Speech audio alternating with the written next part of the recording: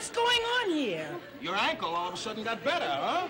I'm sorry we had to lie to you. My ankle wasn't really sprained. It was just an excuse to try to get out of having dinner with you. Edith, I have a confession to make to you. Uh, this isn't my husband.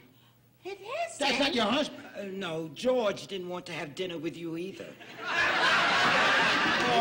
And when I couldn't change his mind, I didn't know what to do. I was so embarrassed that I asked my brother-in-law Henry to come with me. Your brother-in-law, Henry. Oh, what a lie. this is what it comes to. I agree to do this thing, Edith.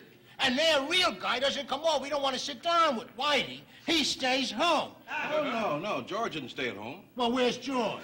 He's at Shea Stadium watching the Mets.